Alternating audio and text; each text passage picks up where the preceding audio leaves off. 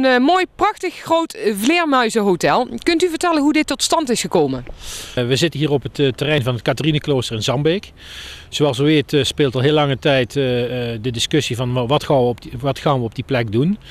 Katharineklooster met het achterliggend terrein is bedoeld voor woningbouw. Uh, en aangezien er uh, uh, dieren verblijven in, in, dat, in dat klooster, moeten we voordat daar werkzaamheden plaatsvinden zorgen dat er een alternatief is vanuit de Flora- en Faunawet. En daarvoor is dit Vleermuizenhotel gecreëerd. Is dat ook echt nodig? Is het niet zo dat zo'n vleermuizenpopulatie gewoon zelf op zoek gaat naar een andere huisvesting? Moet je daar echt iets voor bouwen? Ja, dat is toch wel goed. Tegenwoordig worden alle woningen van de jaren 60, 70 goed geïsoleerd. Dat wil ook de overheid hebben dat je dat doet. Dus de vleermuizen krijgen steeds minder plek om uh, te bivakeren. Want wat voor een plek je zoekt de vleermuis? Een, een, het moet vorstvrij zijn. Liefst een beetje vochtig en vorstvrij.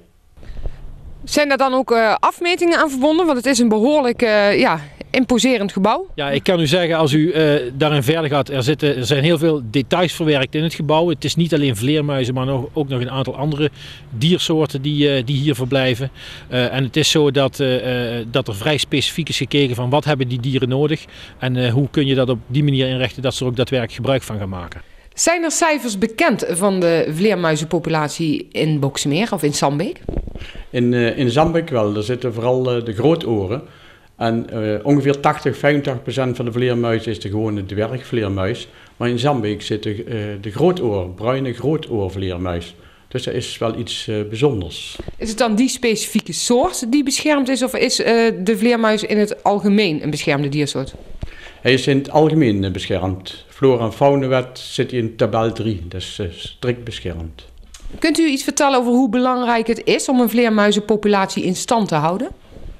Ze vangen heel veel muggen. Ze kunnen wel uh, uh, 600 tot 1000 muggen per nacht vangen. Dus ongeveer de helft van hun lichaamsgewicht vangen ze aan muggen weg. Dus dat is heel nuttig.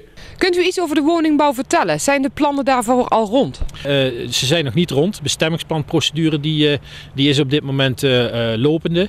Um, en daar komen een, een 80, 80-tal, 85-tal woningen te staan van diverse soorten.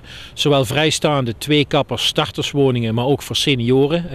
een soort patio-achtige woningen.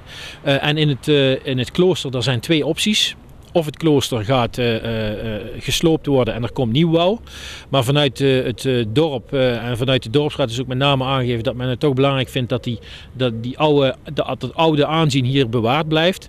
En wat we aan het proberen zijn is om met een partij te kijken of dat, het, of, dat we erin kunnen slagen om het aanzien van het klooster zo te laten. Maar daar wel een nieuwe functie achter te brengen die, die weer ja, bij de tijd is. Is er zoveel vraag naar woningen hier in Sambeek?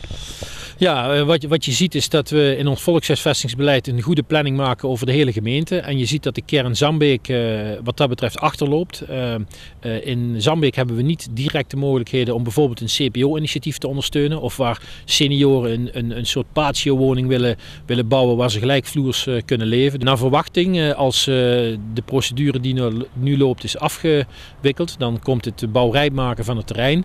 En wij verwachten dat de eerste helft van 2016 ook daadwerkelijk woningen gebouwd kunnen worden. Stel dat het klooster toch zal blijven staan. Is het Vleermuizenhotel dan in principe voor niets gebouwd? Nee, dat is niet, uh, niet waar. Want ook als je de ingrijpende werkzaamheden aan het klooster wilt gaan doen, die moeten gebeuren, dan is, uh, is zoiets dergelijks vereist.